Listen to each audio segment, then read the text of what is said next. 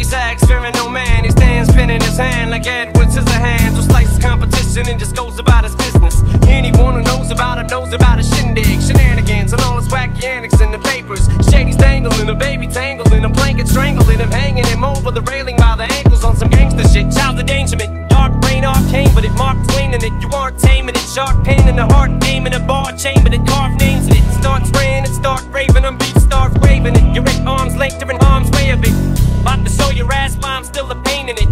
Wanna know how I do it, I can't explain the shit. Mechanics brain with a pinch of Big Daddy Kane in it. But I can show you the ropes till you get the hang of it.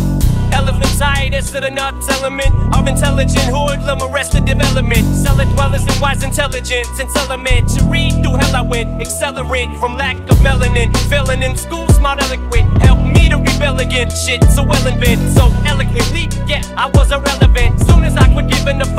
To celibate.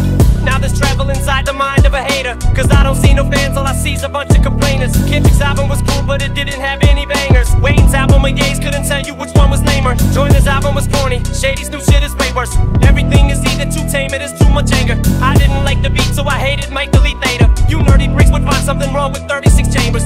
It's what they do to the greats. Pick apart a Picasso and make excuses to hate. So you can until you're blue in the face. Stupid, you ain't gonna get him until your funeral wake.